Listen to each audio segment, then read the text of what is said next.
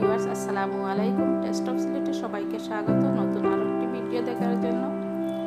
আজকের ভিডিওটি হলো পুরো দুধ দিয়ে সন্দেশ বানিয়েছি, তাই আপনাদের সাথে ভিডিওটি শেয়ার করে